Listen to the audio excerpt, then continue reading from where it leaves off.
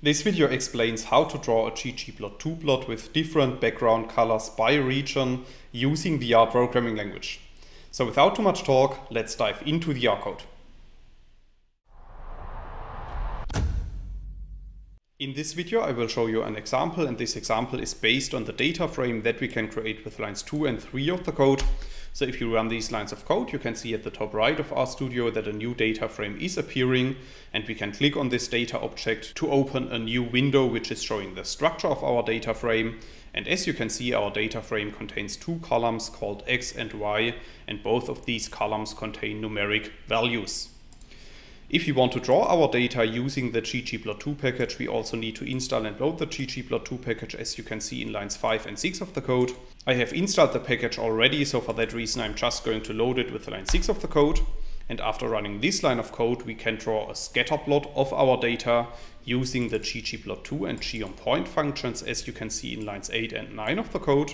So if you run these lines of code, you can see at the bottom right of RStudio that a new scatter plot has been created which is showing our 10 data points.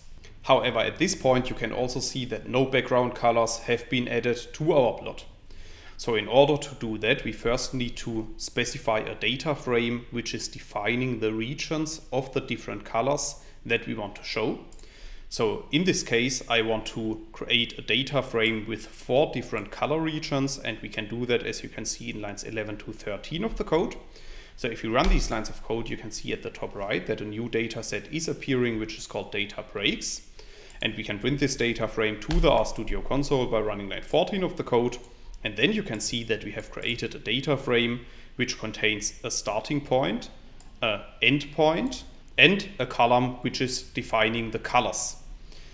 So in the next step, we can use this data set to draw another ggplot2 plot as you can see in lines 16 to 24 of the code. And please note that this time within the ggplot function, we are not specifying any additional arguments as we did in line 8 of the code. However, we are simply adding the geomrect function to our empty ggplot2 plot. And within the geomrect function, we are specifying that we want to use the data breaks dataset that we have specified before. And then we are also specifying the start and ending points of our color regions.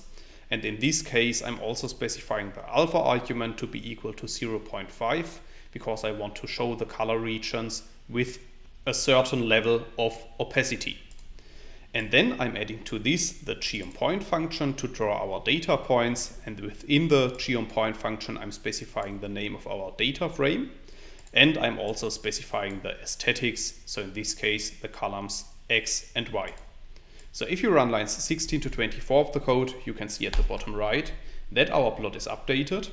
And as you can see, we have added background colors by different regions to our plot. And on the right side of the plot, we have also added a legend, which is identifying the values corresponding to each of the color regions.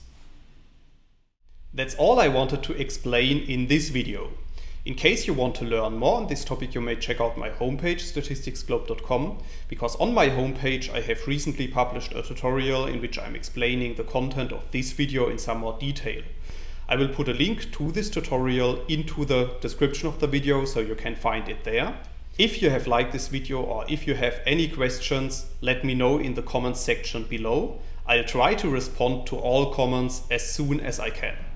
Furthermore, make sure to subscribe to my YouTube channel to get notified about future video releases. I have already published about 500 videos on this channel and I'm releasing new videos on a daily basis. Thanks a lot for watching, see you in the next video.